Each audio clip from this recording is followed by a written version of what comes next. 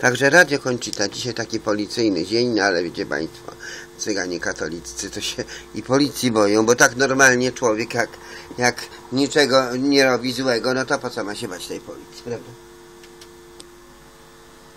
Zdarzyło się w sumie 7 aut, 6 osobowych i jedna ciężarówka. Są ranni. Wyznaczono objazdy drogami lokalnymi. Turecki rząd chce kolejnego przedłużenia stanu wyjątkowego wprowadzonego po ubiegłorocznej próbie puczu. Zwrócił się o to do parlamentu, a ponieważ większość w nim ma rządząca partia prezydenta Recepa Erdoana, to najprawdopodobniej deputowani zaakceptują tę propozycję. Pogoda. W Małopolsce i na Górnym Śląsku może teraz przelotnie padać deszcz, więcej chmur jeszcze też na wschodzie, a w pozostałych częściach kraju pogodnie. Przeważnie jest od 16 do 20 stopni, tylko na południu od 22 do 24. Radio TOK FM. Pierwsze radio informacyjne.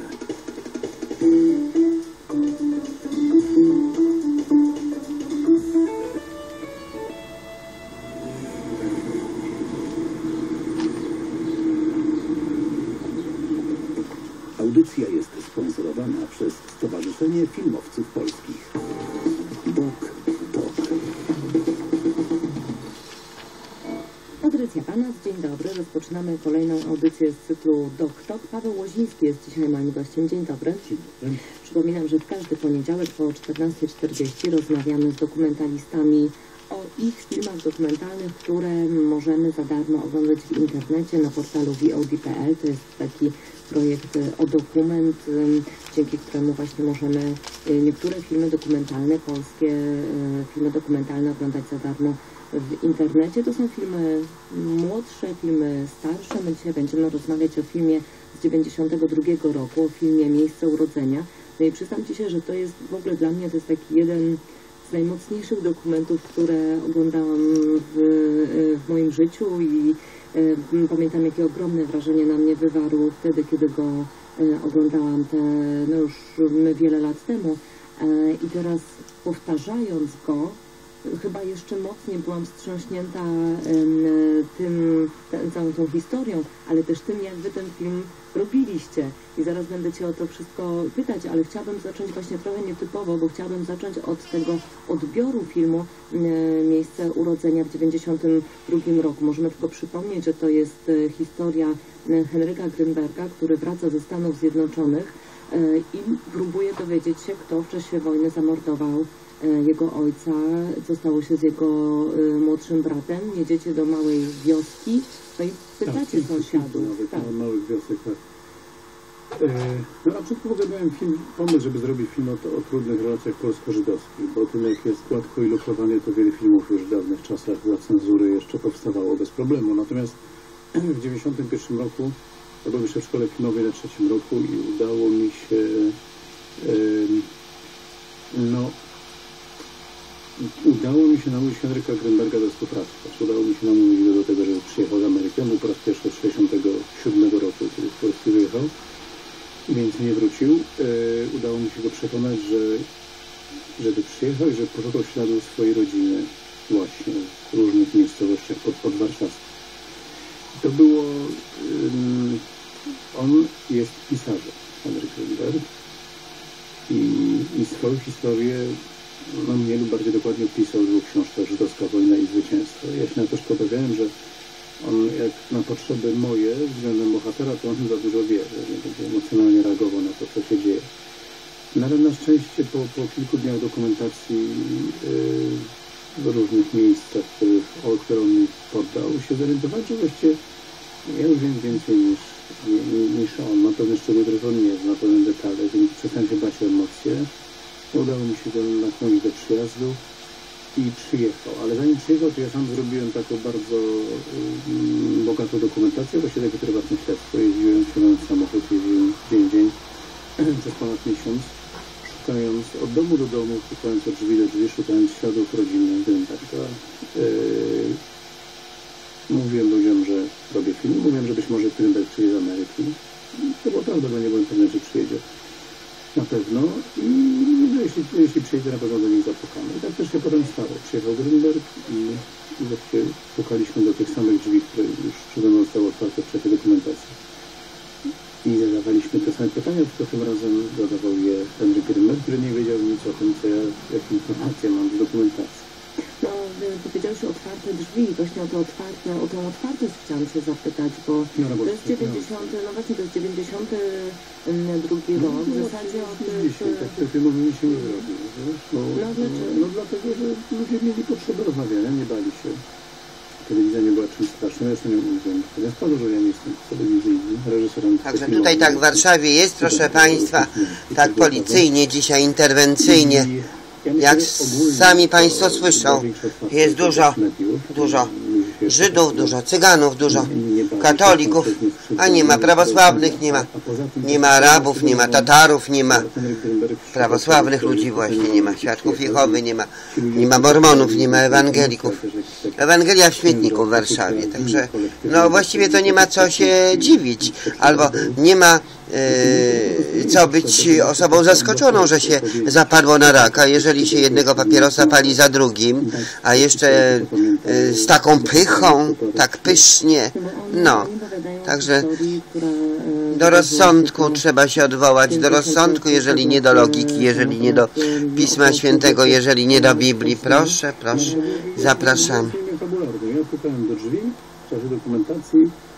Dzień dobry, dzień dobry. Czy, pamiętam, czy pamiętacie Państwo Wiktorów? No, ach, oczywiście. A Pan No bo to nasi nie. sąsiedzi, no. No bo to nasi sąsiedzi. No i to było tak, że i właściwie nie było, nie było niechęci. Do wszystkich drzwi zapukałem z wyjątkiem drzwi mm, brata domniemanego mordercy, którego nie chciałem poszyć. Do niego pojechaliśmy tak po prostu rozwiedka bojem, y, bez, bez wstępnej rozmowy i temu też uzyskaliśmy to, to, o co chodziło, taki element zaskoczenia. Kawałek prawdy. No ale no właśnie, bo z jednej strony mówisz, no tak, to byli nasi em, sąsiedzi, ale wy z drugiej strony szukacie z kamerą e, morderców, no po prostu ludzi, którzy... Nie, chcemy się dowiedzieć, co się stało. My nie wiemy, co, czy został zamordowany, czy nie został, bo nie ma świadków tego wydarzenia. No. Powoli udaje się krok po kroku Grünbergowi i naszej ekipie no, dojść do prawdy. Ludzie kluczą, mówią, że nie wiedzą, nie pamiętają, dawno było. Ktoś przykręca nazwisko tego brata, który co Grünberga zamordował. Jednego z braci. Ktoś wreszcie wypowiada je we właściwym brzmieniu i dzięki temu możemy trafić do właściwych drzwi, tam zapukać i odbyć tę kluczową dla filmu rozmowę. Zastanawiam się, e, bo powiedziałeś o tej e, otwartości, powiedziałeś o tym, że ludzie teraz nie, e, nie ufają mediom tak, tak bardzo, czy że mają do nich inny No, ale to też, nie dziwię zresztą. ale to też moim zdaniem nie chodzi o, o samą obecność kamery czy mediów, ale też czy twoim zdaniem te stosunki polsko-żydowskie, czy stosunek do przeszłości, czy jakiś taki proces oczyszczania, czy właśnie może brak procesu oczyszczania, czy to wszystko się twoim zdaniem zmieniło? 92 rok i 2016, gdzieś jeszcze pomiędzy z e, książką Grossa, która no, wywołała całą jeszcze wielką przykazniczemu wysokich hierarchach kościoła. Także wiecie Państwo, to nie są ci Żydzi z czasów e, biblijnych, bo przecież Bóg przeklął cały ten naród, dopuszczając do spalenia świątyni swojej.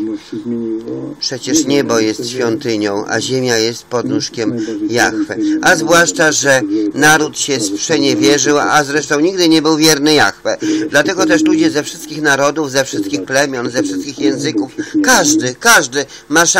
Także już teraz to na, na, nawet nie ma co gadać. Także nie ma co gadać o Żydach, dlatego ja o Żydach nigdy nic nie gadałam. To Janek Witek tak y, podjudzał, Janek Witek Maciej podpuszczał. Ja mówię, słuchaj Jaśku, każdy człowiek za siebie odpowie. Każdy człowiek za siebie odpowie. Pozdrawiam. Radio robią wyjaśnianie populacji. Idzie w dobrą stronę, powolutku. Ten film w 92 roku powstał w Krakowie. Na festiwalu jury nie dało mi nagrody. Powiedzieli, że to jest niemożliwe, odnalazł ciało zabitego Abrama Grünberga. Niemożliwe, żebyśmy odnaleźli butelkę. Nie byli gotowi na przyjęcie faktów. Faktu tego, że rzeczywiście polscy sąsiedzi zabili jednego ze swoich, polskiego Żyda. E, no był fakt jednostkowy. Potem, jak już w Jedwabnem kilkaset ludzi zginęło, zostało zamordowanych przez polskich sąsiadów, podpalonych żywcem w stodole, to już jakoś ludzie to no, było rozmowę większą, to no skala większa. E, mówię tak troszkę ironicznie, nie? Ale y, myślę, że nie było wtedy gotowości, bo parę artykułów się ukazało w tygodniku powszechnym, pan Bąski napisał, pan Tadeusz Szyma napisał coś, ale to jeszcze nie wywołało wtedy, myślę, że nie byliśmy gotowi na taką rozmowę o tym.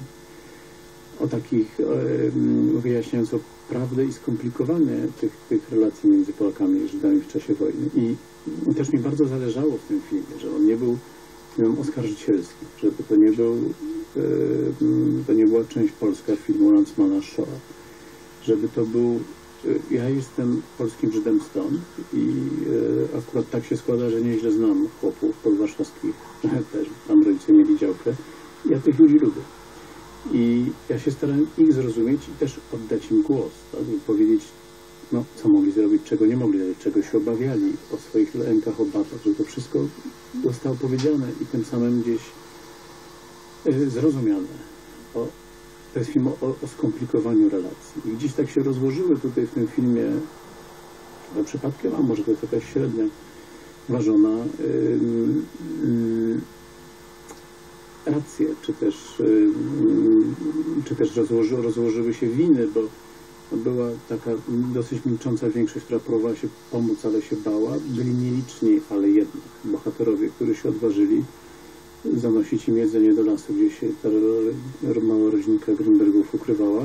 I był też, była też jedna rodzina ludzi złych, którzy dla jednej krowy czy dwóch krów, które ten Abram, ojciec Henryka Grünberga im zostawił i chciał potem odebrać, bo już front się zbliża, Rosjanie nadchodzili, bo wiadomo, że zaraz Niemcy uciekną. E, dla tych dwóch krów zginął. No tyle było warte życie człowieka. Kilogram cukru, krowa, krowa to było dużo. Mm. E, A czym ten film był dla Henryka Grünberga? Em, Jak em, on podchodził w ogóle do tych, do tych zdjęć? No bo tak jak po- powiedziałeś, on był jednak bardzo emocjonalny. No on się wahał, on się wahał, czy wziąć udział w tym filmie, to odmówił.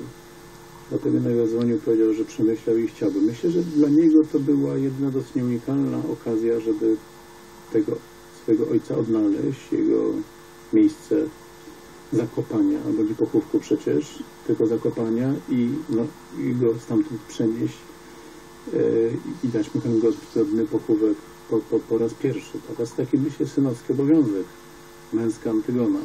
To nie człowiek, który po prostu yy, potrzebował to domknąć. E, Zapraszamy bardzo gorąco film Miejsce Urodzenia w, na portalu vod.pl w ramach, mm, w ramach projektu e, o dokument. My na pewno zobaczymy się jeszcze w tym studiu przy okazji kolejnych tych filmów, które w internecie Bardzo możemy dziękuję i bardzo zapraszam, oglądać. żebyście film obejrzeli. Mam nadzieję, że to już jest tylko lepsza, zremasteryzowana kopia. Tam w internecie, bo wszystko zostało przez Narodowy Instytut Audiowizualny pięknie wyczyszczone i dźwięki, obraz. Aż przyjemnie jest popatrzeć, nigdy ten film tak pięknie nie wyglądał jak dziś. Zapraszamy bardzo gorąco. Paweł Łoziński e, opowiadał nam miejsce urodzenia już e, na VOD.pl. Dziękuję. Audycja była sponsorowana przez Stowarzyszenie Filmowców Polskich.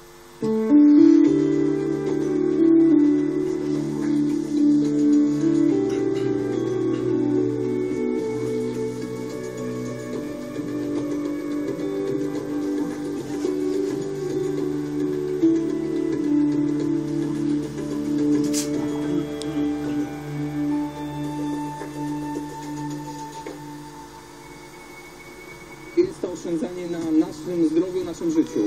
Nie pozwolimy na to, będziemy robić wszystko, nie pozwolimy na to, żeby ktoś na nas oszczędzał. Jestem matką osoby po przeszczepie, jestem jednocześnie dawcą nerki. Zmiany w cenach są koszmarne. To Nie tylko dla nas, dla, dla wszystkich osób po przeszczepach, nie tylko nerek, wszystkich narządów. Prawdopodobnie trzeba będzie albo przyda ci się przeszczep, tak, przeszczep nerki, tak jak u mnie, albo zamienić na generyk, który nie wiem jak będzie mój organizm tolerował.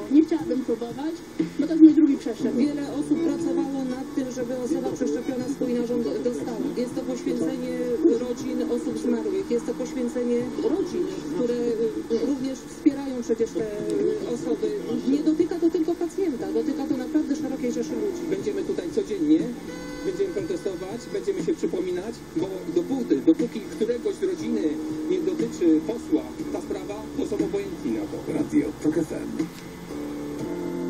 Pierwsze radio informacyjne. Złote pożyczki jeszcze są, złote pożyczki jeszcze są. Złote pożyczki, złote pożyczki, złote pożyczki. Złote pożyczki.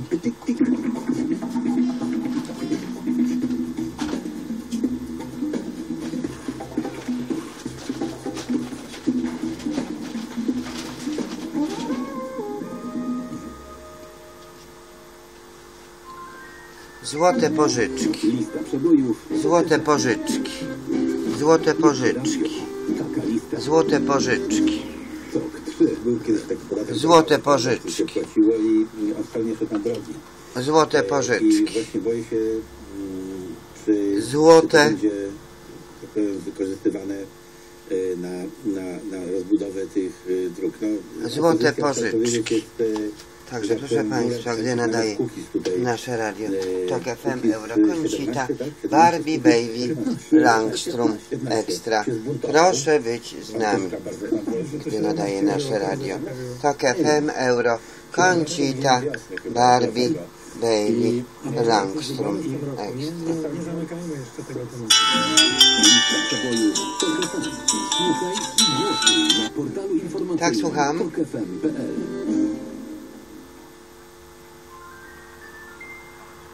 Dzień dobry Kiedyś bolnuki żelaki to był dla mnie duży problem. Już nie jest. Tak. Odkąd stosuję Diohespan Max. Tak, tak, słucham. dawką. Nie zmienię Diohespanu na nic innego. Dodatkowo badania potwierdzają, że użytkowniczki Biohespanu nie muszą rezygnować z aktywności fizycznej. Biohespan Max. Maksymalna ulga dla nóg. Przed użyciem zapoznaj się z treścią ulotki dołączonej do opakowania bądź skonsultuj się z lekarzem lub farmaceutą, gdyż każdy lek niewłaściwie stosowany zagraża Twojemu życiu lub zdrowiu. Diosmina 1000 mg w jednej tabletce. Przeciwwskazania i nadwrażliwość na którykolwiek składnik leku. Aflofa. Michańska 20 12 Oddaję krew bez obaw. Wiem, że do pobierania krwi stosowany jest sprzęt jednorazowego użytku. Oddaję krew i nie czuję bólu. Bo jedyne co możesz poczuć, to małe ukucie na początku. Dobrze, dobrze, Oddaj ty, bo nas krew, która ratuje życie. Robert No, bardzo dobre to jest, że Więcej informacji na twojakrew.pl. Praktycznie codziennie stopy każdego z nas są narażone na kontakt z grzybami i bakteriami. Yy, proszę Dlatego pana, to warto będzie sięgnąć tak. po E, kosmetyk to będzie i przez internet przelane. Aerozol Stepper skutecznie pielęgnuje i Tak, chroni bo ja skórę dzięki wszystko zawartości aż na czterech składników aktywnych. Potem Dodatkowo jeszcze łagodzi podrażnienia, sami pieczenie i spędzenie. tam Z kolei do w paznokci miarę przeznaczony jest możliwości tego, sztyk co jest Stepper. oczywiście. Wspiera on ich odbudowę oraz Dobra, to pomaga w wiem o tym. przywróceniu ich naturalnej barwy. Stepper. Idealne rozwiązanie dla stóp narażonych na kontakt z grzybami i bakteriami. Gładka skóra bez zmarszczek? Pokonaj je od wewnątrz. Podejmij walkę z procesem starzenia się skóry. Wypróbuj tabletki Labotex Skin. Suplement diety Labotek zawiera skoncentrowane składniki retinol, kwas hialuronowy, koenzym Q10 oraz kolagen, który wspiera odbudowę włókien kolagenowych. Dzięki temu Labotek pomaga zachować zdrowy i młody wygląd skóry. Skóra jest sprężysta, jędrna i dogłębnie nawilżona. Labotex Skin. Odkryj piękno skóry bez zmarszczek. Dostępny w aptekach. Magnolia, poradnik dla miłośników roślin i ogrodów. Co miesiąc prezentujemy porady dotyczące pielęgnacji roślin, inspiracje florystyczne oraz pomysły na aranżację ogrodów. Magazyn dla każdego, kto lubi spędzać czas wśród roślin i zieleni. Co dzisiaj na kolację? Coś z serem? Mm, ale znów będzie mi ciężko na żołądku. To, co najlepiej smakuje, najczęściej Ci nie służy. Rozwiązaniem jest. Trawisto. Składniki suplementu diety Trawisto pomagają trawieniu kilka tłuszczu, razy, gazu. żeby nacisnąć na ten przycisk. A ten przycisk to nie wiadomo do kogo. Jakiś coś, gówno to jest warte. Przyciskam raz, dwa, potem jeszcze raz, dwa, cztery razy i żaden y, nic nie przyjeżdża. Potem dzwonię na Solid już miał przyjechać, ale potem zadzwonił jeszcze raz. Powiedział, że y, to nie jest firma Patronus, a Patronus we Włocławku to... I teraz o coś tam poszło i ja tak dzwonię, dzwonię i nie wiem o co chodzi, ale Rysia mówi, że, że jeszcze, że je. No to więc dzwonię na policję i okazało się, że e, nie ja, no to policja by nie przyjechała, bo ona mówi, wyczekujący Katie, księcia no Williama byli trochę zawiedzeni. ale ja mam czerwony telefon, no to jeszcze dzwonię ze swojego Wcześniej przez trzy 112. godziny trwało wysłuchanie publiczne w sprawie projektu ustawy o Sądzie Najwyższym. Spotkanie, w którym udział wzięli No ja mówię, że to jest 200 Gwiazdowska i metrów, tam jest dwójka, że jest Obywatelska.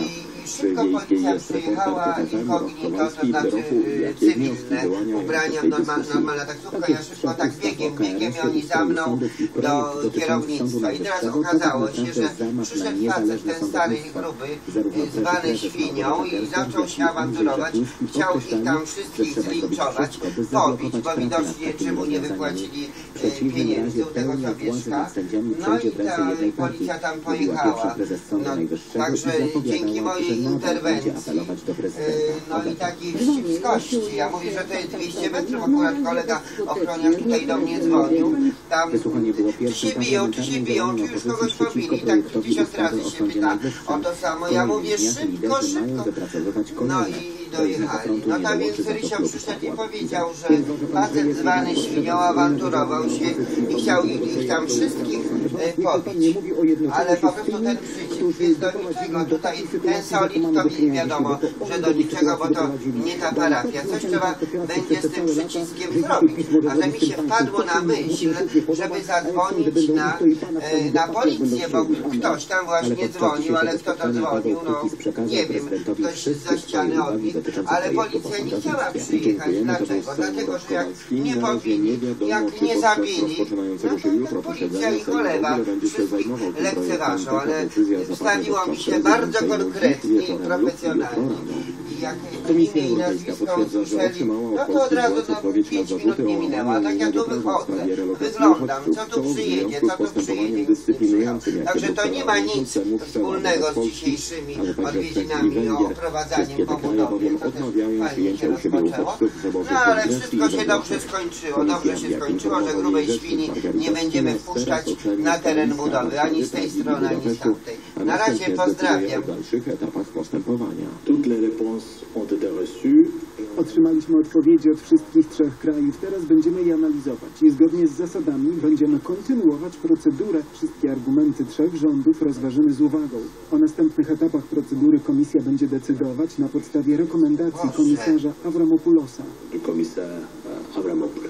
A kolejny krok ze strony Komisji Europejskiej może oznaczać skierowanie sprawy do Europejskiego Trybunału Sprawiedliwości w Luksemburgu, który za łamanie unijnych przepisów nakłada na rządy wysokie kary finansowe.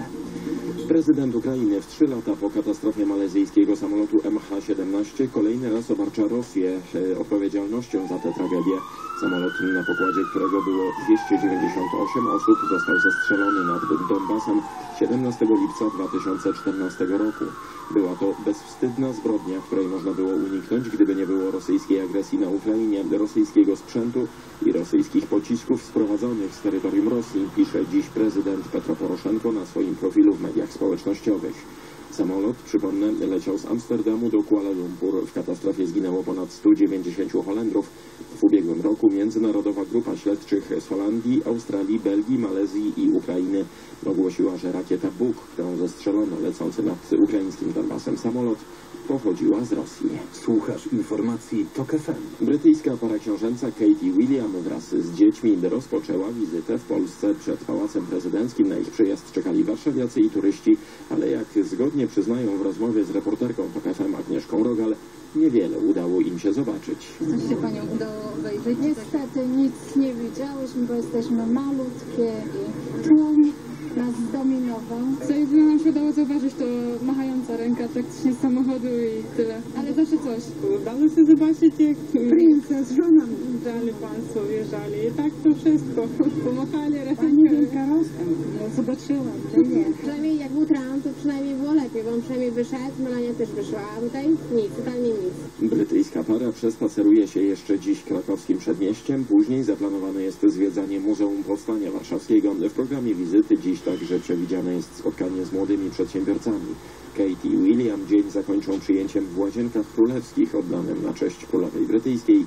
Książę wygłosi na nim przemówienie, które będzie jedynym jego publicznym wystąpieniem w Polsce.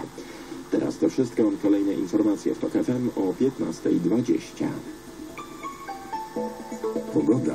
W Małopolsce i na Górnym Śląsku może teraz przelotnie padać deszcz. Więcej chmur też jeszcze na wschodzie. W pozostałych częściach kraju dość pogodnie. Przeważnie jest od 16 do 20 stopni, tylko na południu do 24. W nocy zacznie się wypogadzać już w całym kraju, choć lokalnie niewykluczone gęste mgły będzie od 10 do 14 stopni. Radio TOK FM. Pierwsze radio informacyjne.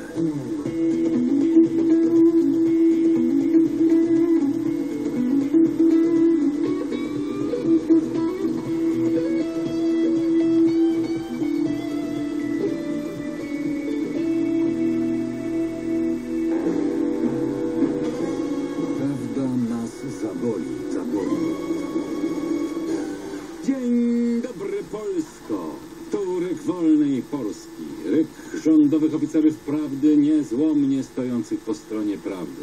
Blisko prawdy, bliziuteńko prawdy, tak blisko, że bliżej się już nie da. Ja jak co tydzień swoim głosem ich strzały prawdy będę słał ku wam. Na początek generalissimus prawdy Michał Karnowski, proszę wstać. Czytam, strzelam. Państwo polskie staje w obliczu akcji o charakterze terrorystycznym i musi adekwatnie odpowiedzieć. Wśród wielu haseł i wielu transparentów grup, które od 2015 roku nasze życie publiczne marszami, prowokacjami, puczami i puczykami, jednego żądania nie ma, żądania powtórnych wyborów. Środowiska broniące patologii trzeciej RP doskonale bowiem wiedzą, że w takich wyborach przegrałyby jeszcze sromotniej. Dlatego zostaje im tylko przemoc. Nie mogąc marzyć o demokra demokratycznym zwycięstwie w równej walce, sięgają po bolszewickie metody walki o władzę. Tam, gdzie wszyscy oglądają się na prawo i demokrację, oni kumulują siłę, organizują propagandę, uderzają. Liczą, że w ten sposób osiągną w końcu jakieś przesilenie. Może zagranica głodem zmusi Polaków do oddania władzy. Może ktoś skutecznie uda ofiarę i nastroje społeczne się jednak zmienią. A może starzy ubecy przy wsparciu chodziarzy po prostu siłą przejmą parlament. I dalej generalissimus Karnowski tak. Każdy miesiąc to jednoczesny spadek poparcia społecznego dla opozycji i zaostrzenie języka i metod używanych przez protestujących. Obecnie doszli już do momentu, w którym regularnie, noc w noc, wściekłe bojówki szturmu, szturmują gmach parlamentu. Wspierają to wszystko z całych sił media obozu trzeciej RP. Około 90% przekazu. Te nielegalne działania mają autoryzację szefa Platformy Obywatelskiej. Dalej generalissimus Karnowski tak. Otóż trzeba powiedzieć jasno. Problemem nie jest to, środków bezpieczeństwa w miejscach publicznych jest dziś za mało, ale to, że jest ich za dużo, ale to, że ich, jest ich za mało. Mamy do czynienia z grupami o tendencjach terrorystycznych. Mamy wezwania, ostatnio do Majdanu. Są to środowiska tak sfrustrowane odstawieniem od łatwych, kradzionych Polakom pieniędzy czy sutych esbeckich emerytur, że są w stanie zrobić absolutnie, absolutnie wszystko, by przejąć władzę. Rodzaj zamachu stanu osiągniętego terrorem, skumulowaną przemocą jak najbardziej mieści się w tym zestawie. Tym bardziej, że część zagranicy z niepokojem, z niepokojem patrzy na odbudowę praworządności w Polsce, na wzrost znaczenia i siły państwa polskiego i kończy generalissimus Karnowski swój strzał. Podkreślam, państwo polskie staje w obliczu akcji o charakterze terrorystycznym i musi adekwatnie odpowiedzieć tym, którzy to organizują i tym, którzy to wspierają.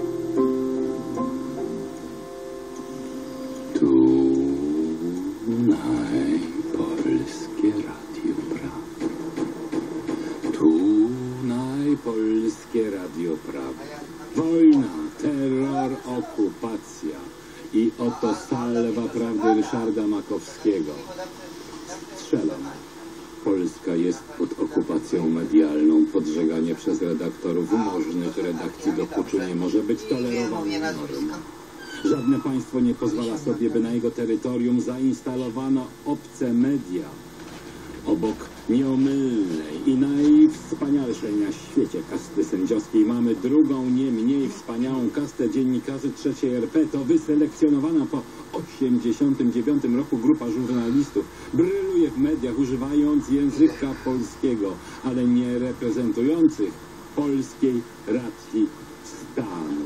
I dalej Makowski tak.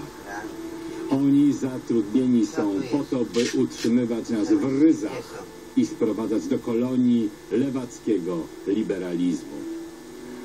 Próba zerwania monopolu informacyjnego fake mediów spotyka się z ich brutalną kontrofensywą.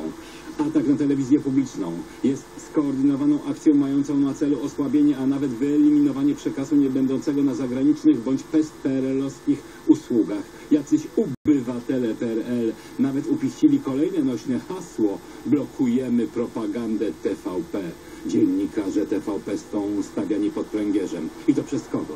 Przez byle jakich klakierów z PO, którzy dawno powinni zniknąć z przestrzeni publicznej, bo to niespotykane miernoty z, wyraźnymi z wyraźnymi oznakami bycia na krecim żołdzie.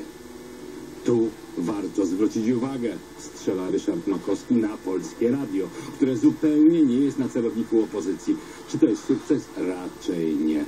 Przy takiej przewadze obcych mediów w Polsce Polskie Radio powinno trochę bardziej, trochę bardziej zaangażować się we wspieranie dobrej zmiany, a nie stać z boku. Niestety chyba ani politycy PiS, ani część dziennikarzy prawicowych tego nie rozumieją. Bronienie dziennikarza, który w sygnałach dnia traktował panią premier w sposób obcesowy i bardziej ją przeczołgał, niż starał się przybliżyć słuchaczowi, przybliżyć słuchaczowi jej poglądy, nie służy poprawie jakości polskiego radia. Także w sferze kultury kończy swój strzał Makowski, czy w sferze satyry. Polskie radio rachitycznie propaguje treści niewygodne dla lewactwa. To znaczy satyr nie ma wcale.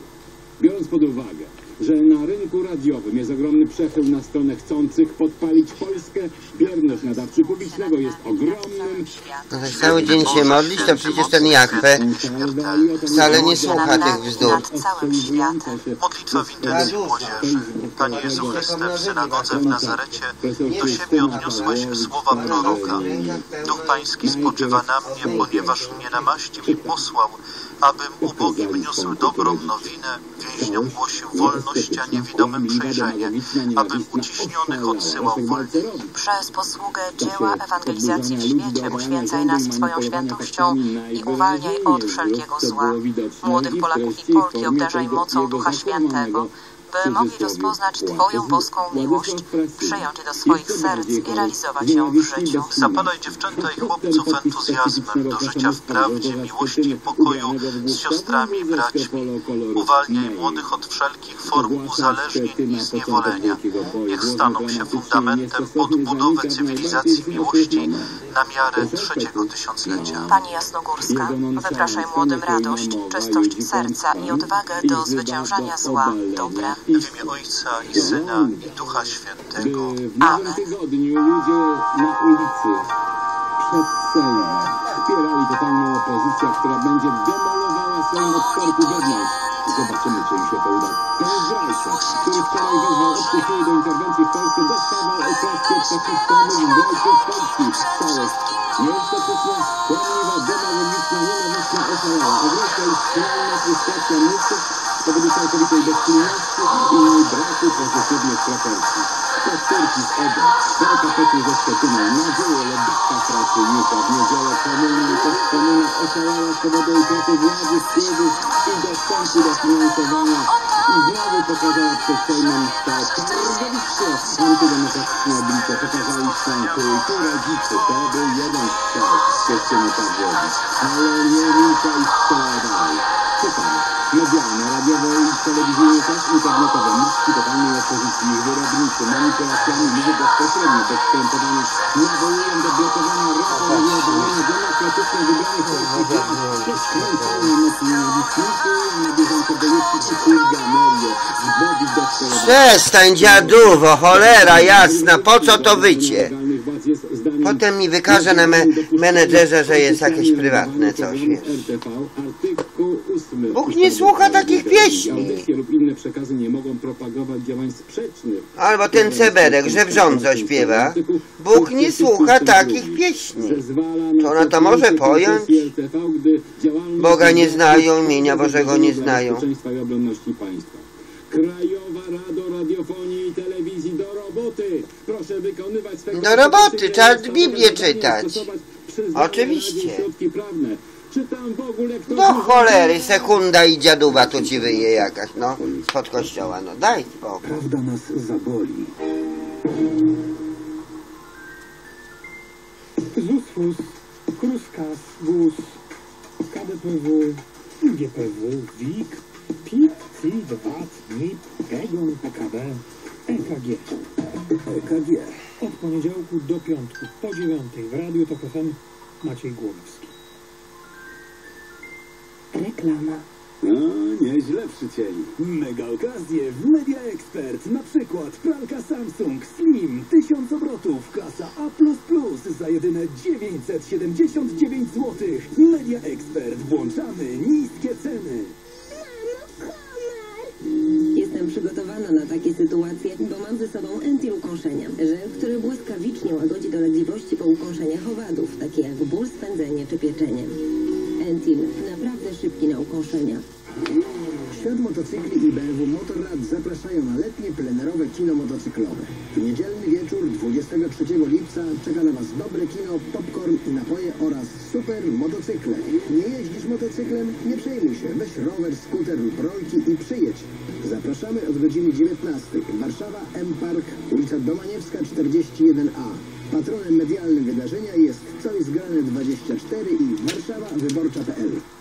Jako dietetyk zapytam, czy wie pan, co w organizmie w największym stopniu odpowiada za poziom cholesterolu? Nie wiem. To wątroba, więc z reguły jeśli wątroba wymaga wsparcia, to należy również dbać o cholesterol. I dlatego poleciła mi pani Proliver. Dokładnie. Suplement diety Proliver to jedyny produkt o takim składzie. Dzięki zawartości choliny, karczocha i cykorii skutecznie wspiera wątrobę, a zawarta w nim zielona herbata wspomaga utrzymanie prawidłowego poziomu cholesterolu.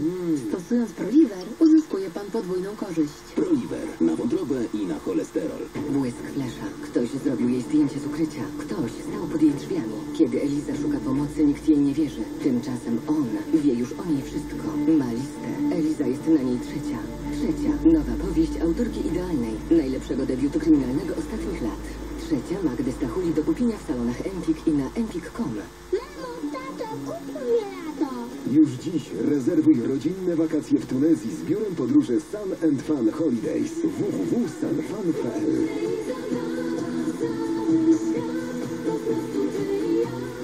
Kiedyś boluk i żelaki to był dla mnie duży problem. Już nie jest. Odkąd stosuję Diohespan Max z maksymalną dawką. Nie zmienię Diohespanu na nic innego. Dodatkowo badania potwierdzają, że użytkowniczki Diohespanu nie muszą rezygnować z aktywności fizycznej. Diohespan Max. Maksymalna ulga dla nóg. Przed użyciem zapoznaj się z treścią lotki dołączonej do opakowania, bądź skonsultuj się z lekarzem lub farmaceutą, gdyż każdy lek niewłaściwie stosowany zagraża Twojemu życiu lub zdrowiu. Dioslina 1000 mg w jednej tabletce. Przeciwwskazania na wrażliwość na którykolwiek składnik leku. Aflofarm. Reklama.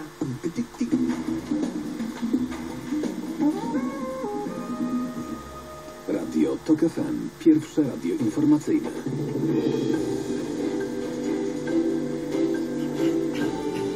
Informacje TOK FM.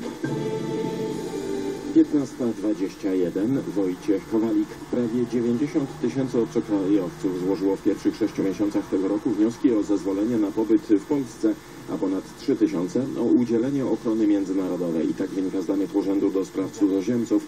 Te informacje oznaczają, że liczba cudzoziemców ubiegających się o zezwolenia na pobyt w Polsce od trzech lat stale rośnie.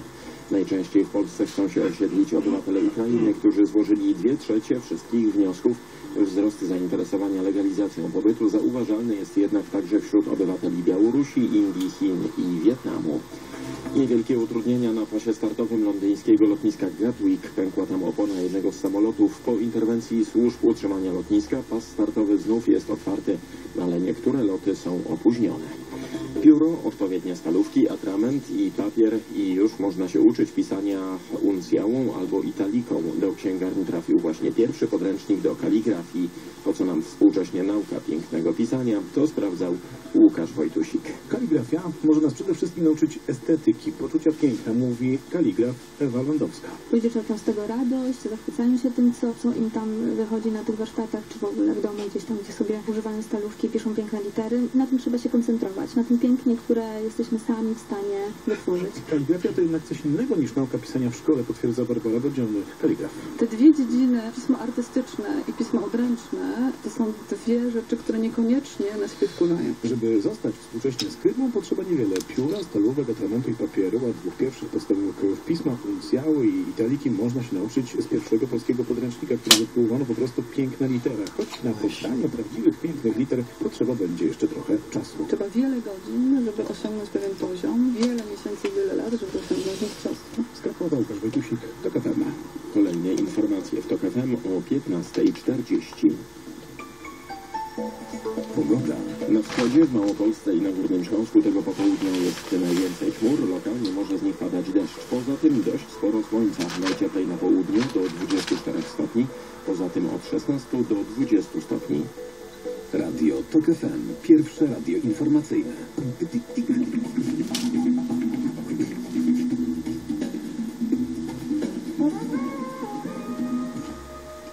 Przyjechałam zobaczyć Puszczę Białowieską, zanim ją wykląć. Jechałam na urlop i tak naprawdę okazało się, że trafiłam na wycinkę. Także przyjechałyśmy tutaj po to, żeby wesprzeć protestujących. Przywezłyśmy trochę jedzenia, wodę, kawę. Jesteśmy tu w interesie ogromnej większości społeczeństwa. 70% ludzi w Polsce chce ochrony Puszczy Białowieskiej. Wyniszczają nam coś niebywale cennego. To, to jest marka, tak? Ta marka się nazywa Puszcza Białowieska.